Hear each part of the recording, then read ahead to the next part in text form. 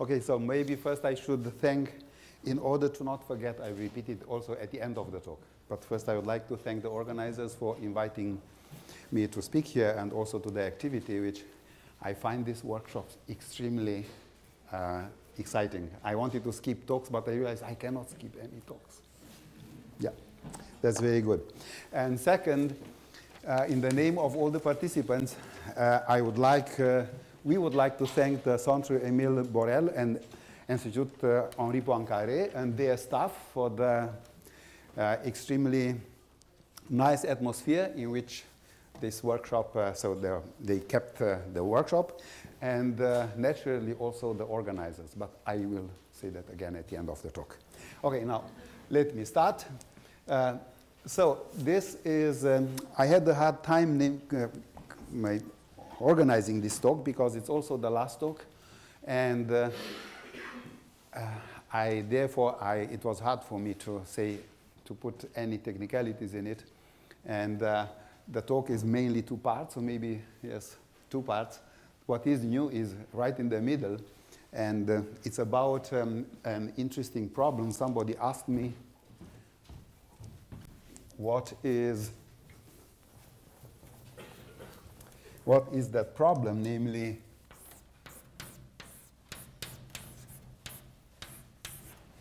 and uh, that is for model theories no elementary equivalence versus isomorphic problem.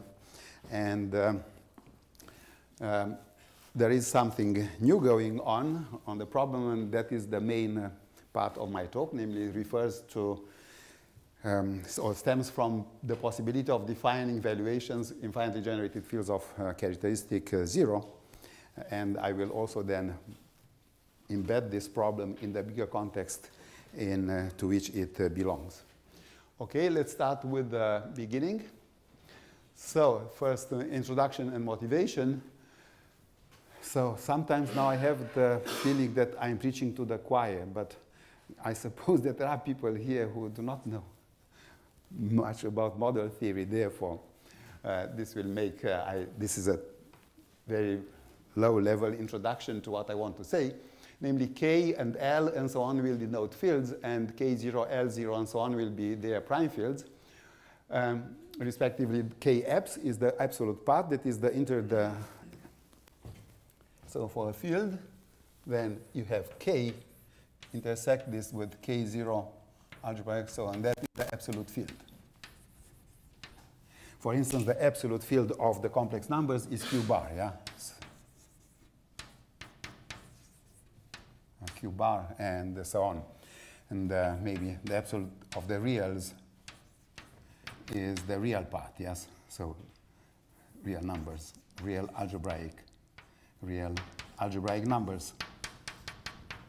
Okay. Fine.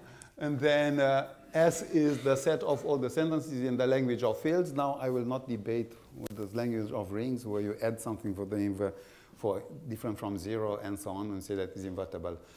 And uh, finally, the elementary theory of K is the set of all the sentences which are true in K, yes?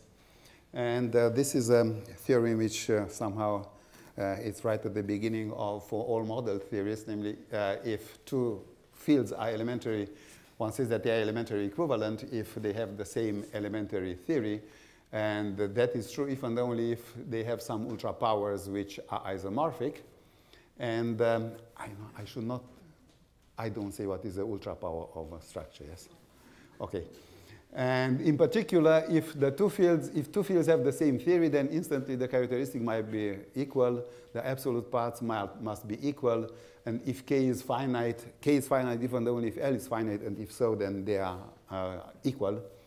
And k is algebraically closed if and only if uh, L is algebraically closed, and so on. And a naive um, classification question would be, okay, classify the fields with the same elementary theory up to isomorphism. And uh, this is maybe hard to do. I learned from uh, my advisor, Peter Roquette, that Artin, after they invented this machinery of real closed fields, tried a lot to classify the real closed fields up to isomorphism. And as we know, the problem that was not done and cannot be done maybe, yes? And, um, okay, maybe the simplest uh, example why this is ill-posed, well, when k is infinite, then the theory of k and the k star is always the same for any ultra power, and they are hardly related. Well, there is a relation, but they are far from being isomorphic, yes.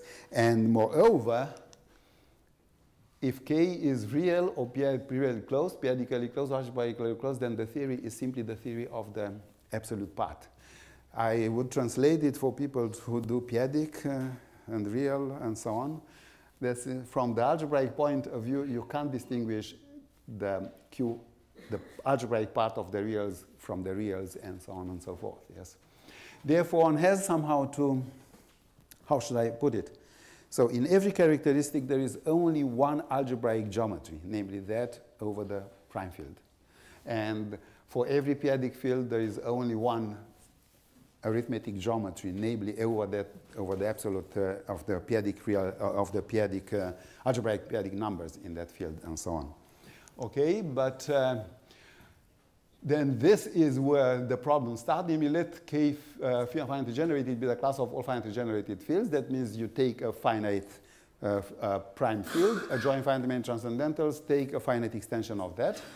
That's how they occur. And then one finally, then instantly has a more serious question. Now take two finitely generated fields and suppose that they have the same theory. Does that imply that K is isomorphic to L? Now there are many ways to think about this imagine that you write a very complicated um, sentence over k that, and the question is that can be somehow, if you redo, translate everything into algebraic geometry, arithmetic geometry is like speaking about a very complicated constructible set. And uh, the question is, so suppose that for all constructible sets, that, that, that, so a constructible set over Z has k rational points even though it has L rational points. Does that imply that k is isomorphic to L? And uh, why this is not obvious, I remember when I arrived in Heidelberg, maybe so something like maybe a few months later, Sabbagh gave a talk for some about something, and then at the lunch we discussed, he discussed this question, and his question was, the very concrete question he asked is, how can you distinguish between Q adjoin, so the function field of a curve, and Q T1, T2, where these are two trans transcendental elements. What is this about? Actually, this is more or less, this has transcendence degree 1, this has transcendence degree 2. Now, can you say in an elementary way, this is transcendence degree 1, the other one is transcendence degree 2? Because this way how we teach our students, there is a T such that for all when you, you don't zero, and all the other elements are algebraic over this. That's not good, yes? And because we can't answer this question, let, make, let ask a more serious question, namely strong EEIP. Given a finitely generated field, is it true that there is a single sentence which now describes the isomorphic type of K? Yes, and here is maybe the general question, and this arose, I think, in 2007, some discussions of, of uh, uh, uh, Ehud Hrushovski with uh, Zilber and so on. It was an activity at uh, Isaac Newton Institute, and Bjorn Poonen was there and so on. And the question, which should be, how could one define somehow the, a reasonable class of fields such that all function fields over these, for the function of this, this question makes sense and maybe have positive answers. And note what is actually the strong EEIP is simply the, is about whether the prime fields are reasonable. Yes. Okay, and here are a few um, old uh, facts about this. Actually, to be honest, I did not know about this, and I learned it only later, that Rumely proved already in 1980 that for every global field, as like there, there is a, a sentence which I will call uh, k Rumely such that for all global fields, yeah, so when you, when you are in the class of global fields, then one has um, that phi k characterizes the isomorphic type of k. That means if you do arithmetic geometry only about global fields, then every global field has its own arithmetic geometry, and are only they overlap partially, but every global field is very, very specific in its own. Precisely like for algebraically closed fields, the algebraic closure of the prime field can see everything what we are doing in algebraic geometry. Okay? And uh, but, uh, yes, the comment is, well, this is not precisely the strong EEIP. Yes, what was the strong EEIP?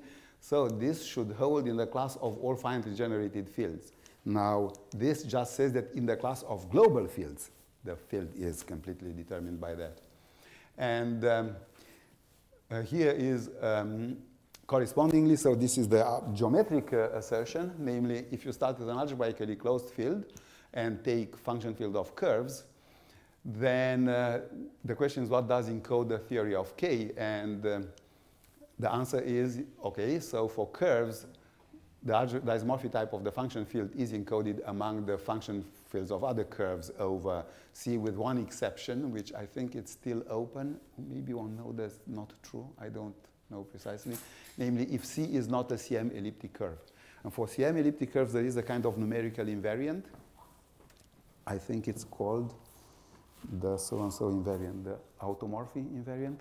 And if but that invariant, you cannot compute it somehow. You cannot apply some sentence and say, okay, this is the number, the automorphic invariant. Okay? And as we see, so these results are all about dimension one. Yeah, so this is curves of dimension one, and those are curves of, now depending whom you ask, if you ask the cohomology theory, these are not dimension one, but dimension two, but if you ask the scheme theory, then these are dimension one function fields of schemes of arithmetic schemes, uh, arithmetic curves, yes. And the question is, how could one go beyond this? And in particular, what about the Sabbagh's question here, yeah?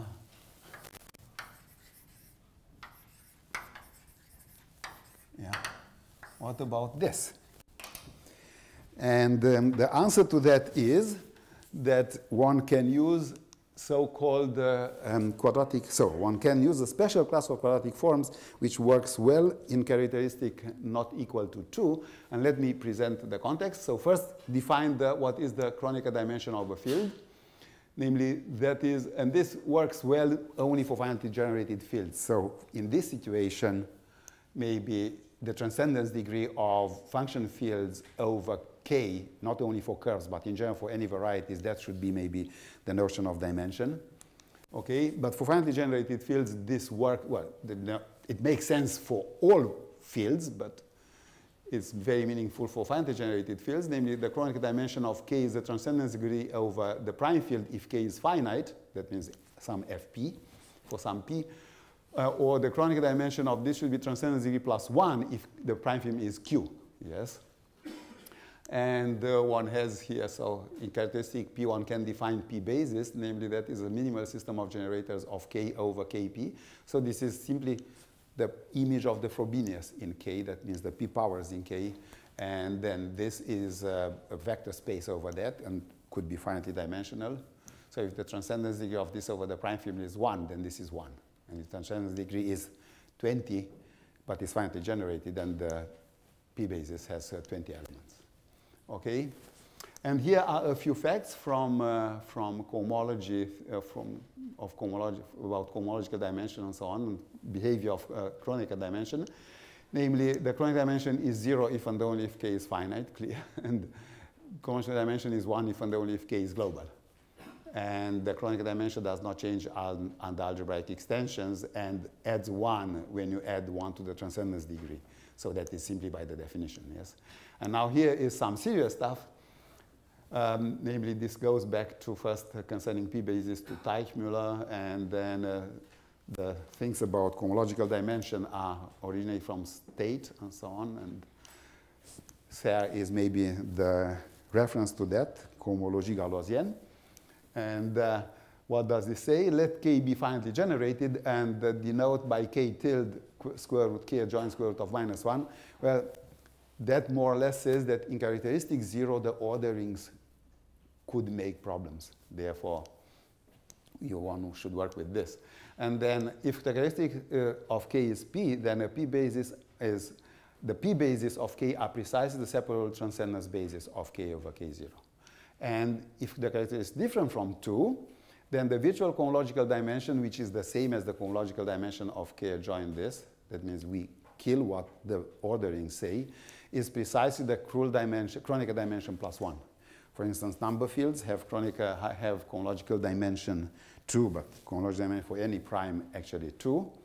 And um, global fields, function fields, function fields over of one uh, of transcend of curves over finite fields have a cohomological dimension two, provided, pro provided uh, the two cohomological dimension is two, provided the prime is different from the basis. The characteristic is different from two. And in general, this is two.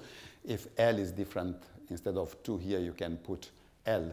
The virtual is always equal to the cohomological if the characteristic is positive, and so on. Okay, and I will, we will see in, uh, right away how, what, how these things, these puzzle pieces all fit together in order to say something about our problem. The next one is to, uh, the next few things I want to say are about uh, forms. Namely, these are somehow very regulated quadratic forms. Yes? And maybe the one which is, uh, we know very well, is x1 square minus a1, a2 square. And what we know very well is not this, but with minus there. And what is this? This is the norm from when you take the quadratic extension k adjoint square root a1. a1 yes? And uh, the two twofold Pfister form is somehow, maybe the rule should be clear. Actually, well, this is somehow the multiplication of this form with this in the Witt ring, and then what comes out is this. And if you want, this is also the reduced norm of any uh, quaternion, of the quaternion algebra generated by A1, A2. Well, there is a little bit of problem here where there should be plus or minus. minus, and I think Pfister told me that in his paper, his intention was to put minus there, but they, he, they realized that actually that is so only after the paper was submitted. And in those days, young generation, you had to type everything. And if you made that mistake somewhere, you could not go back and say, change. Yeah, no. And then he said, I leave it like that. this is why there is this discrepancy between plus here and when you take the quadratic characters and so on and so forth. And um, concerning sums of square, which are very familiar, so the sum of Pfister forms even only if the dimension is a power of 2, yes. Okay, and that would be then the Pfister form, is 2 to the n, that, that would be the form 1 and so on, 1, yes. Okay, and now let's define the image of a Pfister form to be all the values the Pfister form takes except when you plug in 0, because that is clear 0. We don't want to plug in 0. And then one says that QA represents an element uh, B if B is in the image. And we say that Q is anisotropic or isotropic over K if Q does, well, anisotropic if does not represent zero. That means the Pfister form simply when you, zero is not so. The Pfister form does not have a zero, yes? And QA is universal if uh, the multiplicative group of the field is contained in there. And maybe I just an remark, side remark, actually the Pfister forms are extremely remarkable in the sense that the image, it's always a closed, is closed on the multiplication. Yeah. And by the way, so they are called Pfister forms, but it seems that, so this was Pfister form, that actually that uh, Witt already had the ideas and worked with Pfister forms and proved stuff about this. Okay, now learn a little bit about Pfister forms. For instance, characteristic different from 2 and k is this as usual then if k is finite, then every Pfister, one-dimensional Pfister form is universal.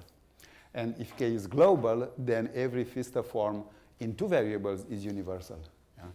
So, and these follow, uh, the only way I know to prove it is using local global principles. But okay, next slide, and now.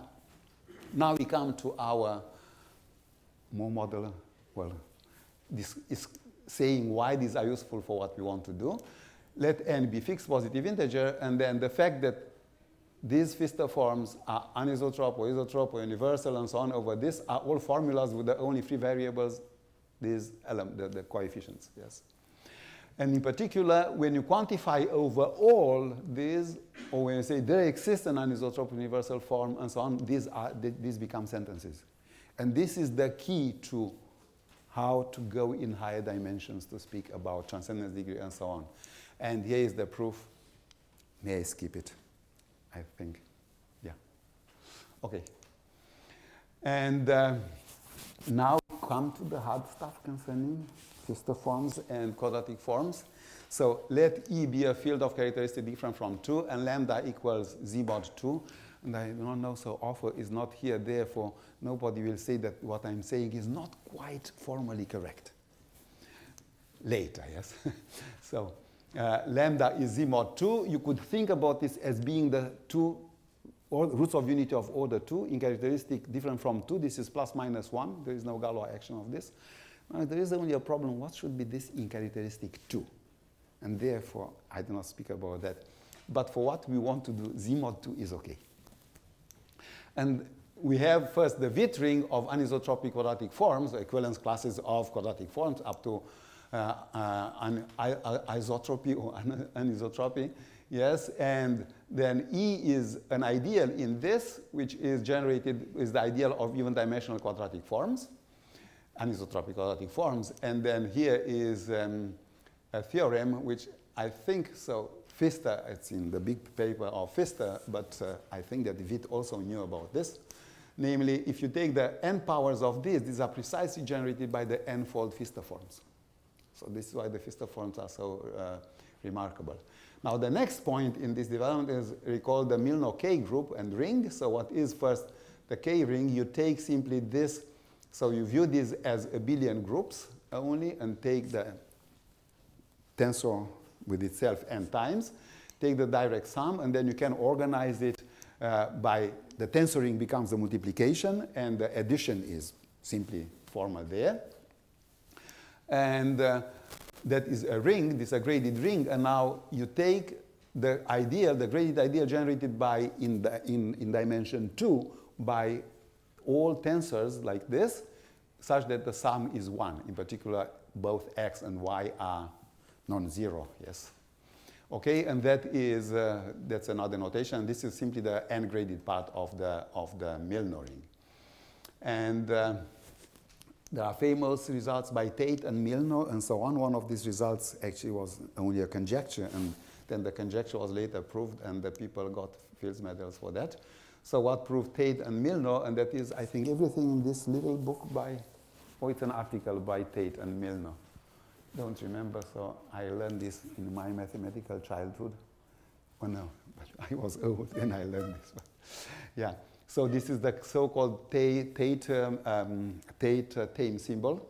There is a canonical map homomorphism from this modulo 2 in the uh, corresponding nth cohomology group of the Galois group. And this is true much more general. Actually, you can put here any uh, L, any M, not divisible by, by the characteristic, and then you have to put here the mth power of the corresponding roots of unity. Yeah? So I mean tensor power. It means you have to modify the action on this by the, by the uh, cyclotomic character. But here there is no Galois action because we are in from 2. The module is E mod 2 plus minus 1 are in every base field, in every field of characteristics different from 2. And then there is, I think that this was proved by Milnor, then, then uh, uh, that actually also there is another uh, map from here to there. I mean, yes, this is, remember, this was the even quadratic form. These are the nth power of that, and then you go to n plus 1 first power. And it's clear how these work, yes? What are these? These are generated by such symbols, by n symbols, and where do you send it? Well, you send it into the cup product of a corresponding quadratic characters. And here, what do you do? Well, you take here the corresponding symbol, which will be A1, A2, this class of A1 up to AN, and where do you send it? Well, to the corresponding Pfister form. And now here there is a little bit of a problem because the Pfister form was defined as it was defined with a plus there, do you remember? And therefore you have to change the sign when you do this, but that means A will be sent into the character of, so square root of minus A, yes. And now here is the, one of the very big things proven in the last decade of the 20th century, namely the Milnor conjecture you see, so I could draw here, uh, let me see the time, I don't know whether I should do that. So this is a very famous triangle,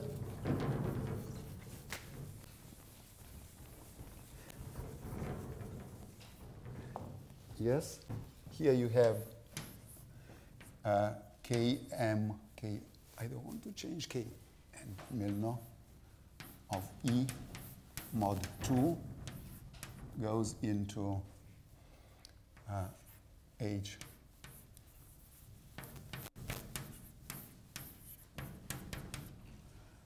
lambda. Lambda is E mod 2. So this is the Thames symbol. And then you have here In.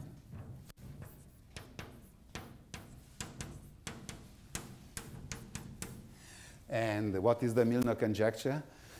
One way to say that is that these both isomorphisms, therefore, there is a canonical map from here to there, En, which is an isomorphism, and that is called the, I think that this was proof for n equals 3 by Arason, and, um, but I would call it the higher cohomological invariant, Milnor invariant for the quadratic forms. And then the, the, the Milnor conjecture says that actually this is an isomorphism, and this is an isomorphism, and therefore this is an isomorphism.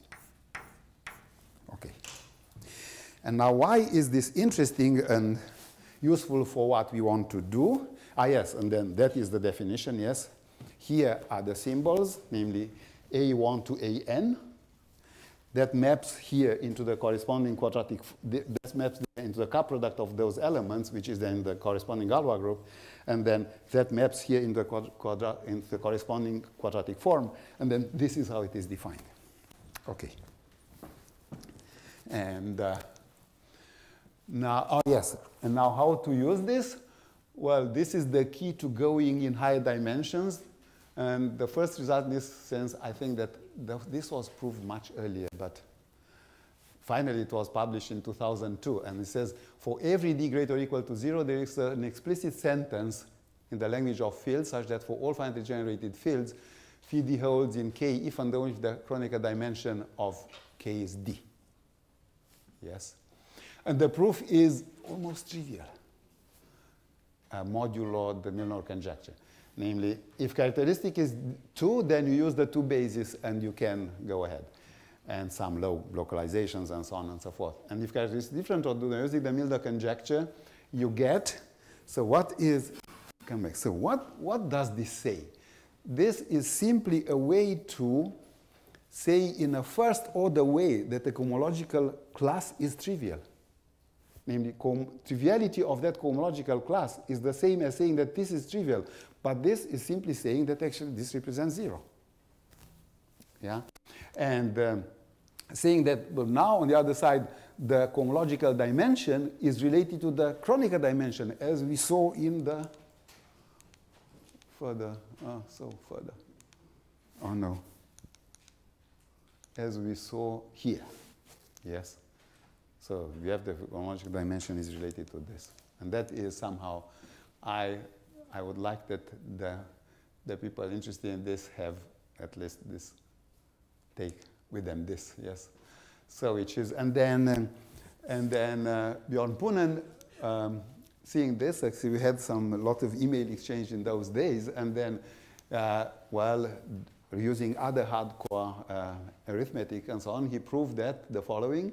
So first that there is a sentence in the language of fields and a predicate such that the sentence holds in k if an only characteristic is zero. And then also the predicate defines the absolute part of this.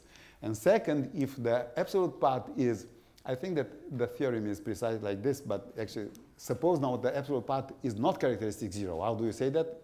Size zero does not hold in k then there is a predicate such that when you plug in, well, it's a formula in two variables, though, such that, well, become a predicate by plugging in any element which is non-constant, and then this describes then the algebraic closure, relative algebraic closure of uh, prime field of t, adjoint t in, in t in k. That means describes simply there is a first order. So another way to put it, the global sub the global function fields which are embeddable in K are definable. So, and as I said, this is quite, uh, so using naturally this in order to do stuff, but there's also other, other um, very fine arithmetic. Okay? And then using this, you also can define finally that a system of elements in K is, um, uh, is relatively algebraically independent over the, over the absolute field, yes? Uh, namely, you go, so it's here, everything. And I think this is not quite correct, but for, it would be much longer than, namely, you first take A only among the constants. Um, if all those are isotropic, then you, there must exist such an A and so on, but it's almost correct. Yeah? Okay, and the conclusion is that there exists a formula in the language of fields which defines algebraic independence of finitely generated fields and so on. Okay. And now what can you do with this? Well, first of all, Rumely's now can be really transformed into really the strong using this, now you can uh, prove Rumely's, uh, uh, so you can turn Rumely's sentence into something which is now really characterized as a morphic type of global field. Why? Because we know how to say that something has Kronecker dimension 1. And then you simply take the conjunction of Kronecker dimension 1 and Rumely, and then you get this. And uh, so uh, other results which follow from this is that if two fields, uh, two antigenerities have the same uh, elementary theory, then they are isogenous. That means you can embed one in the other and the other one in the other one. And this is reminiscent of what happens when you want to characterize the function field of elliptic curves. What you instantly can do is you can show that the curves must be isogenous. But the elliptic curves which are isogenous without being isomorphic. And then there is the problem, yes. Okay? And uh, building on this, then Clark, I think, uh, so yes, he is, uh, I think, at uh, the Georgia Tech now, professor. So he showed that actually, well, pushed these methods further, yes, and uh, tried to solve the, solve the EEIP, so the weak form over for other functions. Okay. Now, what can we say about uh, the strong EEIP, and as, as, you say here, these are partial results, recent results, and future results. Yes. So first, let me recall what is a prime divisor of a field, find the generated field. So it's every k evaluation satisfying the Krull dimension, uh, Kronecker dimension of the residue field is Kronecker dimension minus one. And uh, in characteristic um, uh, P, so the prime divisors come simply from all the prime divisors of all possible normal models of the, of the function field. In characteristic zero, there are also prime divisors which maybe extend to k p-adic valuations of qp, or of q. So, and those are somehow, um, those are of another nature. Those are arithmetic prime divisors. And there was uh, work by, by uh, Tom Scanlon, so also started maybe in the 90s, yes? But yeah, and then that reduces the strong EEIP for every finite generated to the problem of first order defining the prime divisors. And I think that uh, Tom's assertion is much more precise, namely the if you do that uniformly, then this, I mean, the, the finite generated fields are uniformly first, uh, um, what is it, be interpretable in the Presburger arithmetic, yes. Okay, and then the question is now how to define prime divisors. Well, actually, no. Before I move on, the question is, is maybe the only way to do solve these problems by simply discover the prime divisors? I do not know. And that's for me a serious philosophical question. Can one solve this, attack this kind of problems without using valuations? Anyway, what one can do is the following. So um, here is, first is, namely, prime divisors of fields of Kronecker dimension, well, two, because the global fields we know how to handle already by Rumely, are uniformly definable. Indeed, in particular, the strong EEIP holds for this and even more so. Um, yeah, the, these are interpretable in the Presburger arithmetic, yes. And uh, this has uh, some story because I don't know I think I even spoke about this result and I realized that, oh, there is a gap in the proof and so on. But now finally it's published and I think that there is no gap in the proof. Yes. It's, yeah. Okay, and now this is maybe what I should have spoke, the, this is the main content of my talk, namely, Actually, the same can be done for all finitely generated fields of characteristic zero. Yeah, so here there is no restriction on the characteristic. And if you want, so actually on my webpage there is a paper like this, I call this called EEEP2, where there were only restriction on the characteristic, so instead of 2 is 3, but the restriction one has on the characteristic is that the characteristic cannot be 2. And uh, I will say a little bit more about that.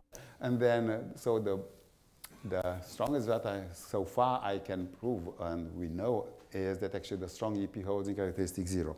And now how to handle this? So uh, first, let us recall the Rumely's method. So for global field, denote by pk the field of the space of all the places, and lambda is as before. And now here, I cheat a little bit because I do not say anything about characteristic 2. But if you want to say, to speak about characteristic 2, then change this 2 to 3 and z mod 2 to mu 3. And then everything works, yeah? So, and uh, uh, what does Rumely use? So he uses a local global principle for norms in cyclic extension of global fields.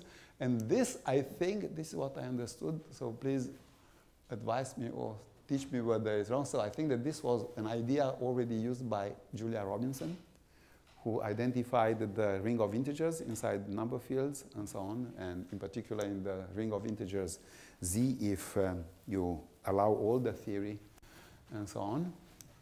And from that, it follows that if you have a quadratic form in two variables, that is isotropic or universal and so on, if and only if that is so over all local fields.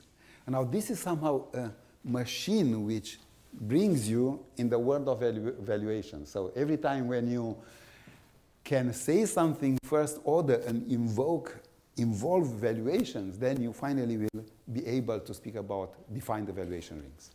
Okay? And uh, what is the lower idea of this? Well, is to use higher Hasse local global principles.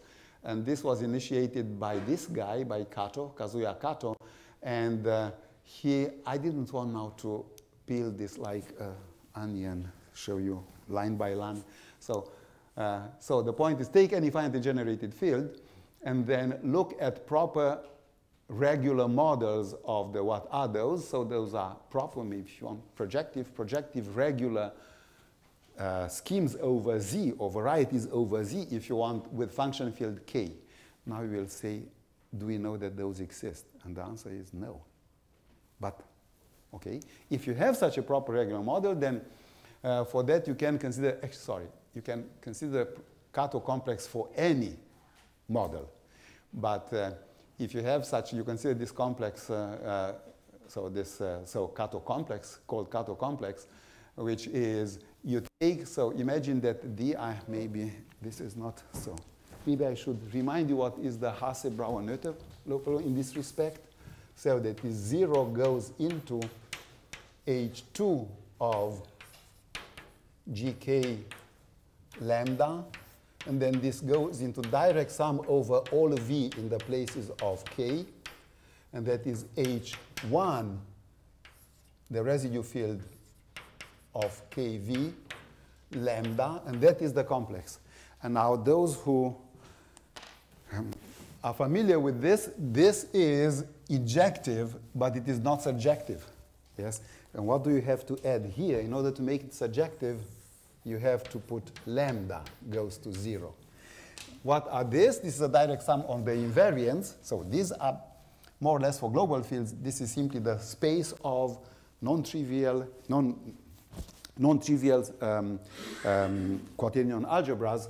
This is Normally you go to the localizations, but for those, now you look at the structure of the Brauer group and they take the so-called tame simple and so on.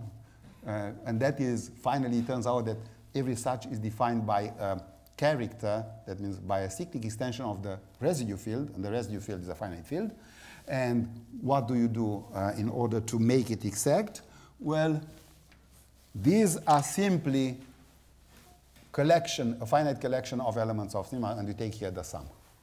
And then it becomes exact. Now, Kato had the idea to do the same for all higher dimensional. For instance, for dimension for dimension 1, for d equals uh, 2, what was in here, yes, in this, Kronecker dimension 2, then d is 2, that means you start at 3, you go in H2, uh, which are now Brauer groups, and you go in H1, which are such characters, and then what happens? Now he put there 0, but that means this is not usually not exact. Yes, it has homology. And normally, uh, yes, and now maybe I should say here, Kato's local global principle is that if you put here lambda, like in the Hasse-Brauer, then this is exact, provided k has no orderings, yes. And now why is it interesting? What do we want to do? We want to check whether this is trivial. Well, but that is the same as checking that this quadratic form is universal and um, is trivial or not. And this is how the Milnor conjectures come in. And uh, the idea would be the following. Now you look, take in K a function field which has Krull dimension 1 less, then make the base change. This is cheating a little bit here, but anyway, so make base change from this, and then you get a curve over K, and then this large K becomes a function field of this curve over K. And the idea would be if f is not a constant function of that curve, the question is, how could you say that the divisor of f with respect to this curve is not divisible by 2? More or less, this is the key to everything. And if you, the point is, the idea is you can say that by looking how do behave these quadratic, these Pfister quadratic forms when A1, A2 are general. Yes? And everything is first order form, uh, form, can be formulated in the first order because of this translation into the, into the um, forms. Yes? And uh, finally, if you can, if you have such a recipe, now you apply the recipe for what? You apply the recipe for quadratic extensions of K. And you allow which quadratic extensions where there where your symbols, these kind of symbols, do not, uh, do not die. What does that mean? In those quadratic extensions, f, the divisor of f, is further on not divisible by 2. What does that mean? You are allowed to take only square roots, quadratic extension, of units at, all, at some prime in the divisor of f. Well, what does that lead? Finally, that leads to, this, to defining this. That means the parameter you use is f. f is a fixed parameter. After that, there is a recipe to plug in a1, a2. And um, in, in, well, so sorry, in general, is that is the hope that you can plug, you have test, you will say for all A1 to AD satisfying some uh, first order properties, the corresponding Pfister forms are not uh, anisotrop anisotropic over the quadratic extension, which everything can be expressed first order. And in that way, you can define this. And after that is a kind of just uh, somehow say it, turn the crank problems to uh, deduce what are the valuation rings. Okay, now that is the hope, and that is what one hopes one can do. And what is the strategy? Well, the strategy would be to make induction on the Kronecker dimension, and we know already that this worked when, when this here, when this, when Kronecker dimension is 2, then this is Kronecker dimension 1, that means little k is a global field. And that was solved in the problem before. But unfortunately, it does not work as you think. Why? Because this Kato complex is known only in that case, that is the Kato theorem. And else it's only, only weaker assertions are known. That means you, if you would have the Kato complex, I even said, I think somewhere in the introduction in my paper to chlorine dimension 2, that if a Kato the Kato local global principle holds in the same form in higher dimensions, then this proof could be, well, with some technicalities, translated in high dimensions. Unfortunately, and I think my discussion with Jannsen even say that actually he does not believe that the Kato complex is, is known, I mean, is the same in higher dimensions, yes? Okay, and now the fine print of the proof, I will go very quickly through this namely, we are in characteristic 0, and then the prime field is Q, and let V0 denote the uh, finite places of Q. And then there is a theorem of Jannsen which says, so what was this? This was at the beginning of the Kato complex, then you see that actually when you go by to what kind of localization, you simply take the compositum of K with Q completed at V. Yeah, so this is not at all has somehow not, mm, it's not really what Kato intended to put in his complex. But anyways, one knows that this is injective, yes? But you do, you'd have no idea what the image is. How big is the image in this? And then uh, this was, actually this has a very long story. I think that the first result by Jannsen was in 1992. And then he worked on this, was unhappy with the results, and then he went high dimensions. Meanwhile, the theory of alterations was invented. It was still not okay, and so on. And finally, it appeared in the annals in 2016. And there is a previous result by Saito which quote that, yes, as reference is Jannsen in their paper, which appeared earlier, which proved the following. So, as I said before, you do not know that there are regular models. But suppose that you take a model such that when you localize at some v0, some p, then it becomes a proper regular model. For that, then they prove that the Kato complex is exact, exact as it was here. Yeah, sorry. Yes, this comp, what? This complex is exact. So once again, for global fields, for fine generality, this is not exact. You have to put there a lambda in order to make it exact. That is the homology of the complex. Okay, and now I say that using these facts and some tricky induction and so on, and now this is the point where you have to, uh, well, you have to yield and say, I'm sorry, I can't do things in characteristic P. Is namely, you have to do some induction on uh, the construction you do and so on, and that does not work in positive characteristic. Okay, why? the point is that how the induction works, maybe this is only because my method is silly, um, you have to have that regular is the same as smooth. And I had long discussion with Michael Temkin about this. I said, well, can you not alterate in this? And he said, yes, yes, one can. And then after two weeks, now, Florian, actually, I have a counter there. You cannot alterate in that way, and so on. And maybe if I have a minute at the end, or if somebody asks me what precisely is needed, I can say it at the end. What is the problem why this does not, so my method does not work in, in, um, in higher dimensions in a positive characteristic. Okay, and then knowing these valuation rings for all f and so on and so forth, then you can describe now what? You can describe all the valuations of k which are trivial on k. And now when you quantify over all possible k, which is possible by the previous results of uh, Bjorn Poonen and myself, and quantify over all the f's, you, at every stage, you either just get garbage or valuation ring, which is a prime divisor. And that is the result. And I had two further slides, but uh, namely, I will fly through them, yes. So what is the general question? And now this is something which I understand less, but if you want to ask more, maybe you should ask Hudi because he knows. yeah, at least. So what should be what are the potentially reasonable base fields? First, if K is algebraically closed, and you take any function field of this, then the following holds. It's an old result by, by Jochen Koenigsmann. Again, I don't know when the year was published. Maybe it was published in 98 or 2000 something, but the result is older. Then there is an explicit formula which, uh, which uh, a formula. There is an, a, um, a predicate which defines the constants. Yes. And uh, in the same paper of mine, I also proved that for every D, there is an explicit sentence which tells you what is the transcendence degree. Now, remember that actually the previous results were only about curves because we were not able to say that this is the function field of a surface. So you can say that is a surface, and then you can prove this, that if we have two function fields of the same field, then having the same elementary theory, then they are, oh, so sorry, that should be a K there, because this is obvious. Yeah. So they are is, uh, isogenous, that because you can embed one in the other.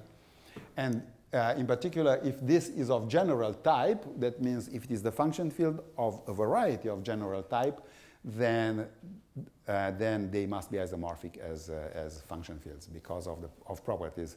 Well, general type is the same as curves of genus at least two. Yes. And uh, there were some partial results in this direction also, which students work in the working groups at Arizona School in, in 2003. Okay, and then what might be the class of reasonable fields? So here is, recall what is a large field. It's a field with the property that if it has a smooth point, it has infinitely many smooth points.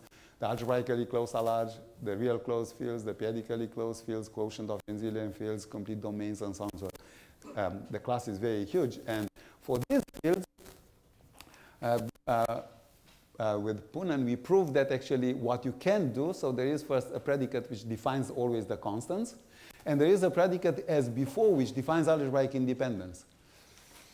But this is where we have to stop. And uh, maybe the suggestion that absolute feature analysis are reasonable. And thank you.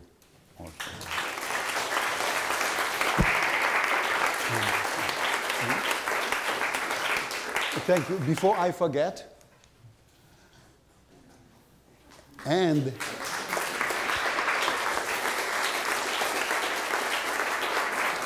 and uh, speaking in the name of all of us, please, so this should be recorded. You are very grateful to the staff and the organizers of uh, the, the, the, conference, I mean the mechanics of the organizing, uh, so personnel from the, of the Center Emile Borel and Institut Henri Poincaré. So thank you for.